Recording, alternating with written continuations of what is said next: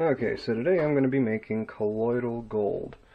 Right over here are my two 24 karat gold wires.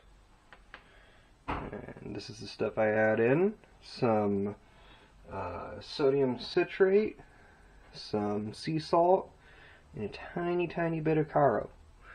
So first part that we're going to do is actually get the water boiling because this process cannot happen if it is at room temperature and that's going to take a little bit.